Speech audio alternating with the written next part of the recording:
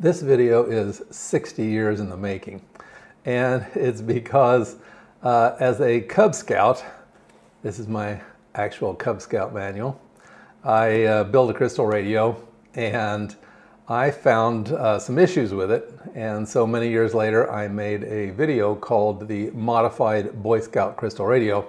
And it looks like this.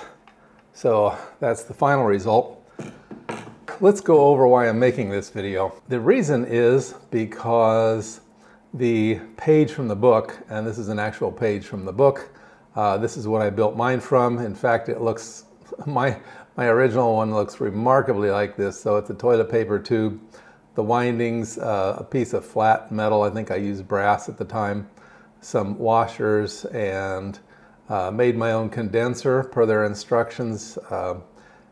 This is an old style earphone, which is why you need the condenser. The new ones, you need a resistor. That's not the modification I'm talking about today. Uh, that modification has to do with this wire right there. So I've drawn the diagram. Here I've got the antenna, which is right there in their picture. Here is the ground, which is there. And the antenna then goes through the coil, which is there. It goes across here to the earphones. So there, earphones, uh, their condenser, and then it goes through the uh, detector, which is, in this case, a Galena detector. I just use the diode symbol. And then across here to the wiper, and across there to the wiper, and then from the wiper to the ground, and wiper this way to the ground. Okay. Uh, so yeah, this red wire is the thing that I have changed. That's the biggest modification. So let's take a look at that.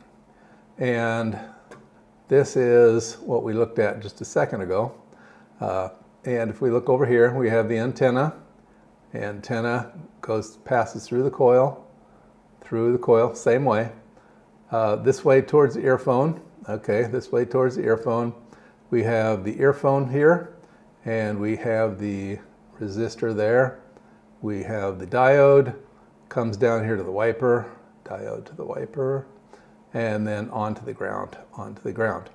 Now, uh, my assertion is that this wire that was here, the wire shown in red, is unnecessary. And in fact, what I found as a kid, that this wire actually caused the radio not to work. And I was very disconcerted at the time. I kind of wondered how many kids would build this radio and then it didn't work. It would be discouraging. And frankly, this radio is what got me interested in electronics. So I kind of wonder how many kids, uh, you know, lost that same path.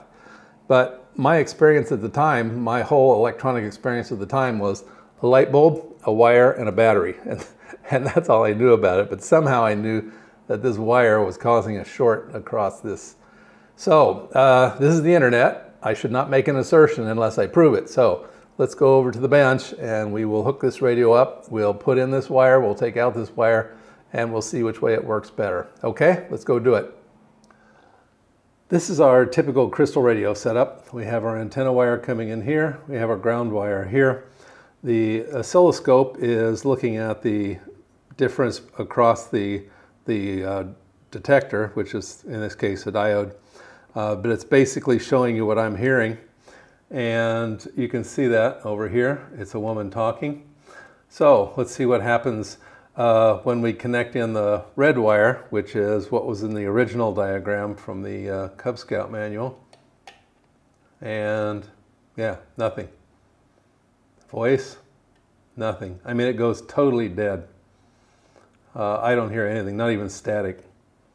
So yeah, um, just no question. This was, uh, I, I, don't know what happened, why someone would have drawn in the extra wire, but it absolutely does not work that way. So hopefully, if anybody is designing a radio from the original picture, they will see this and they will say, no, that's not going to happen. Otherwise, it explains why I call my version the modified Boy Scout Crystal Radio because, yeah, I leave out this wire. Okay, well, that was it for this explanation of why I call it modified and why that wire is missing. Hope you found that useful and interesting in your crystal radio experimentation.